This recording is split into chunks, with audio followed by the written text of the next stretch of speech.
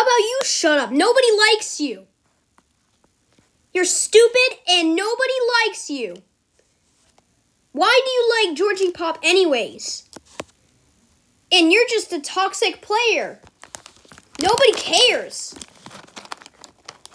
Just shut up. Gosh.